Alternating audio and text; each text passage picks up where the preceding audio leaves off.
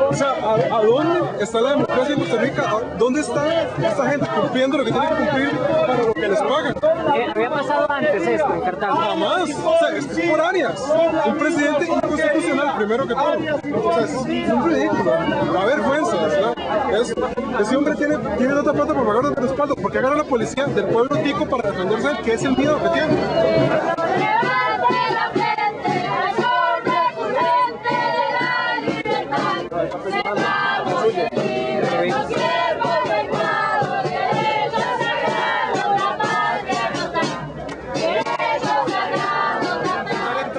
Plaza Mayor o las ruinas, los policías en una actitud dominante, prepotente, nos dicen que antes de poder entrar nos tienen que requisar, amenazándonos, quitándonos pancartas, incluso hasta diciendo que podemos correr el peligro de entrar a seis años de prisión por un delito de contravención.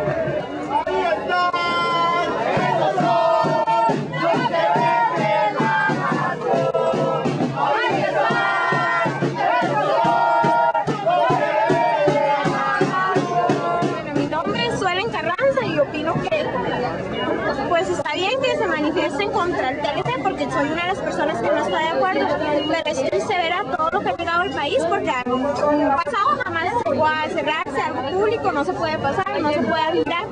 Sinceramente es triste ver a dónde ha llegado el país y saber que puede llegar más lejos si no se hace algo contra esto. Ya hace muchísimo, madre, que por dicha vengo desde que estaba pequeñito, como el favorito, como todos los chiquitos, y se puede entrar perfectamente a Cartago, mi ciudad, madre, y ver al parque, ver algo bonito, por lo menos darle la vuelta al parque antes de que empiece toda la situación perfecto, que se cierra cuando viene la antorcha para que la gente no se meta, se haga un poco más flexible, más ágil el evento, pero hoy desde las 3, 4 de la tarde está, cerrado Cartago. Tres avenidas cerradas, ¿por qué? A los padres de familia que tienen niños, por favor retírense por la seguridad de sus niños.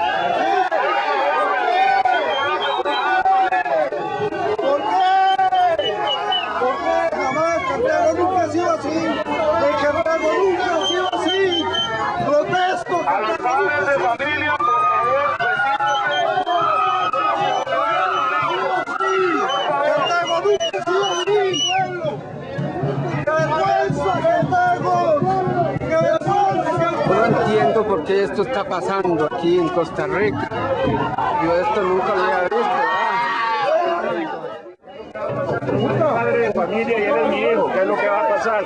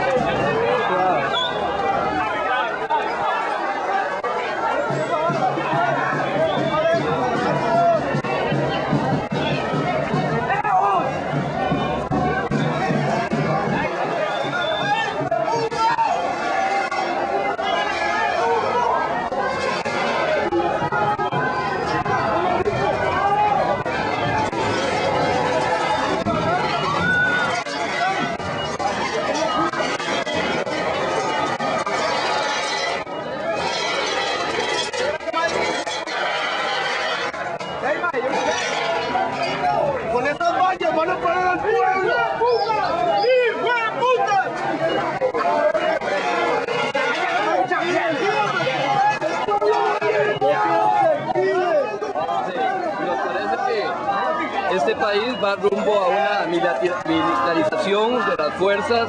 Es evidente cómo al pueblo costarricense se le niega la posibilidad de estar en un acto de esto y de manifestarse en su expresión exacta contra el Tratado de Libre Comercio.